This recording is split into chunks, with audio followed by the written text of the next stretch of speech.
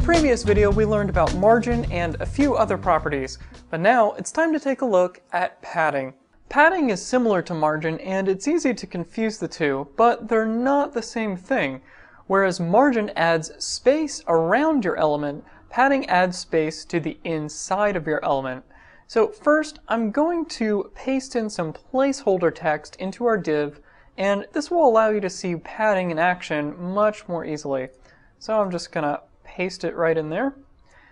And when we switch over to the browser and refresh, you can see that the text is there, but aesthetically it's kind of difficult to read because it's all right up against the sides of the element.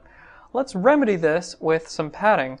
So I'm going to switch back to the text editor and I'm going to switch to our CSS file and I'm just going to type out padding and I'm going to say 25 pixels and when we switch over to the browser and refresh you can see that some nice padding can really go a long way when it comes to readability. Now let's take a closer look at the padding property. The syntax for padding is very similar to the syntax for margin. I could apply padding to any side of the element simply by using the individual padding properties, like this. So if I were to type padding top and give it 25 pixels, and type padding bottom and give that 25 pixels, we could switch over to the browser and refresh and you can see that there's now only padding on the top and on the bottom, but not on the sides. Now let's switch back to the text editor again. I could also use the consolidated syntax and write the equivalent just by using the padding property by itself. So I applied 25 pixels of padding to the top and bottom. We could write that out like this. So I'm just going to delete what I have here and leave padding there. And I'm going to give the top and bottom 25 pixels and the left and right 0 pixels, just like we can with the margin property. So when I switch over to the browser and refresh, you can see that it looks exactly the same. Now one important thing to note with padding is that when you add padding to an element, you're essentially increasing the amount of space it takes up on the page. Margin does this too, but it does it invisibly, when you use padding, the element actually looks larger on the page rather than just being more spaced out. So if I wanted to add 200 pixels to both sides using padding, I might do something like this. So just switching back to the text editor, I can type 0 pixels and 200 pixels.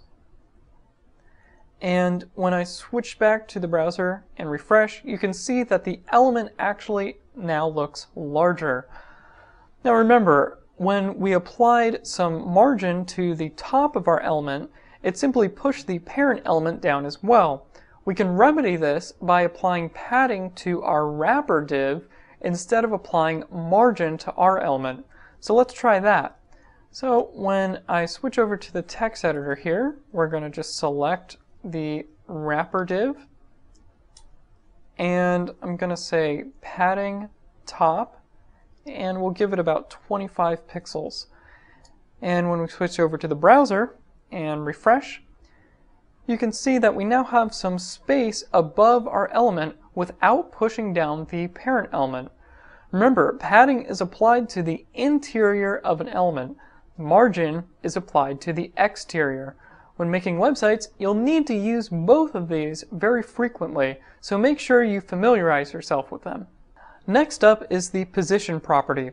So far, you've probably gathered that the content on web pages tends to flow from top to bottom.